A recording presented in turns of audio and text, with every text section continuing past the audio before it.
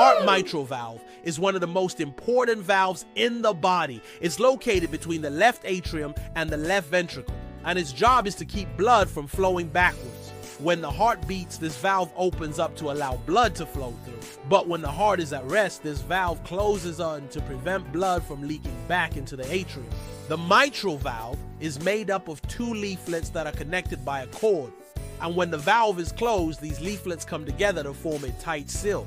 If the leaflets of the mitral valve don't close properly or don't open up enough, blood can leak back into the atrium and cause a condition called mitral valve regurgitation. Mitral valve regurgitation can cause a number of symptoms, including shortness of breath, fatigue, and swelling in the legs and ankles. And if left untreated, it can lead to heart failure. Fortunately, there are treatments available to help repair the mitral valve and improve blood flow. It's important to see a doctor if you're experiencing any of these symptoms so that they can diagnose the problem and recommend the right treatment. With proper medical care, most people with mitral valve regurgitation can make a full recovery